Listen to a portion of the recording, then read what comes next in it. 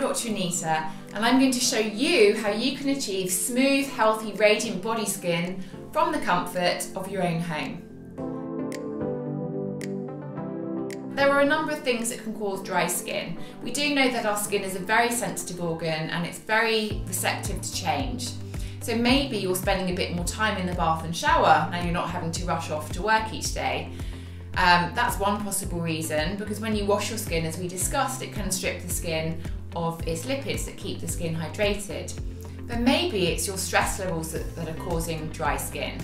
Now, let's talk about that in more detail. We have little glands called the adrenal glands that sit above our kidneys. And when we're stressed out, we produce more of a hormone called cortisol. This travels in our bloodstream to our skin cells and causes those barriers to open up so we start losing water more readily. So it could be our environmental stresses that are making skin drier. Regardless of the trigger, the treatment is the same. If you are washing your skin in the bath or shower, try and use a gentle product, one that isn't foaming, because the chemicals used to make a product foam can be really drying.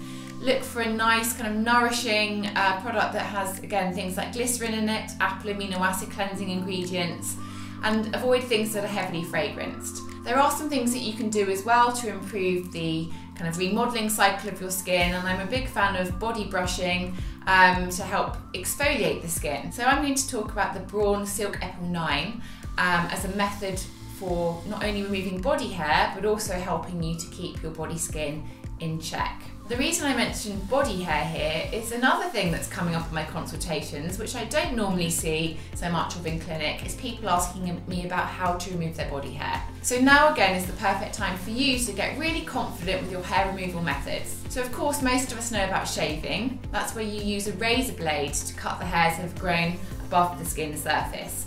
Now this has um, lots of pros, it's convenient and quick and you know razors are very easy to access and quite affordable. However, you will get more rapid regrowth.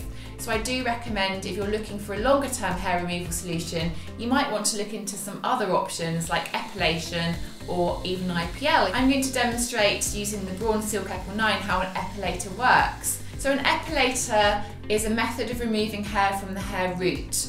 Has a mechanical tweezer action that plucks the hair from the hair root, so it can take three to four weeks for the hair to regrow, which is brilliant news for those of you who don't want to think about shaving every few days. With this device, you've got 40 micro tweezers around the epilator head that all pluck the hair at the same time. So you're getting really rapid plucking motions and I find this kind of mechanism helps to reduce any discomfort. I mentioned earlier that dry skin is an issue. So one thing you could do in the shower or the bath every day is use the exfoliating brush that comes with this device.